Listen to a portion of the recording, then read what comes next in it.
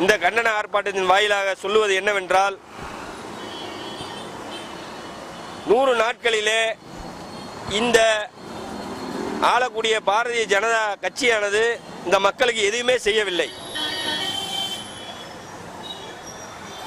நாட்டில் பாதுகாப்பு மிகுந்த பாதுகாப்பு துறையில் நூறு சதவீதம் அந்நிய முதலீடை அங்கீகரிப்பது என்பது மிகவும் ஒரு மோசமான முன்னுதாரணமாகும்.